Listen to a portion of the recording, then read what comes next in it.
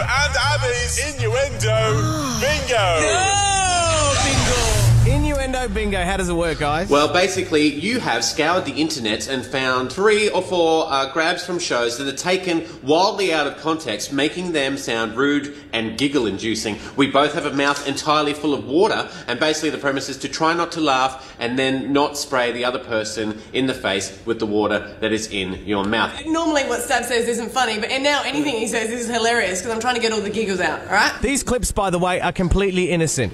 Okay? Oh, okay. All They right. are Cool. completely innocent. Now, all of ours this morning come from the UK because anything in a British accent sounds funny. Mm-hmm. Uh, the first grab this morning comes from a BBC broadcaster in the UK. Her name's Caroline Martin. Uh, she's got a technical problem going on in her studio.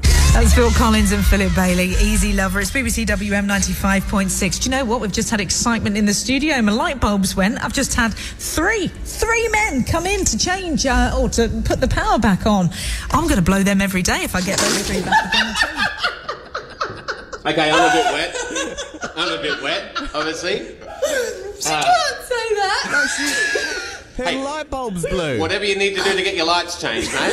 okay, wait. I'm so sorry. That took me by surprise. I thought it'd be better at this. I tell you what, I'm, I'm looking at Mr. Globe a very different way now. Uh, you guys ready for the next one? All right, let's take you to the inspirational story of a pioneering female mountain climber. She has found some concerning methods, however, for getting the job done. The longest journey she did was 25 miles in one day across a mountain pass, but they did realize that actually it was quite unsafe going down on a donkey.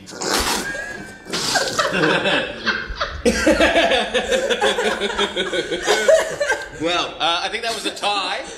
That one was a tie. We both sprayed. Oh, wow. little there. And So it's she- oh, going down the hill on a donkey. going down be the really mountain on a donkey. dangerous. Yeah, Wow. Riding that ass. I am.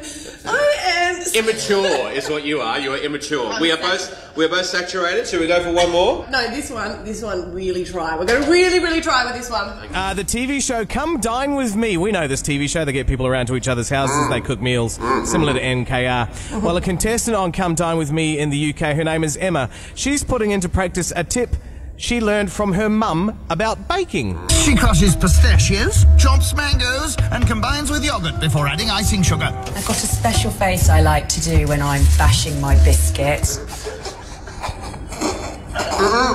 And we got control. Hey, we That's did a pass. We That did it. a pass. We did it. We did Oh, well done. We'll come back in. We're wet. Oh, thanks.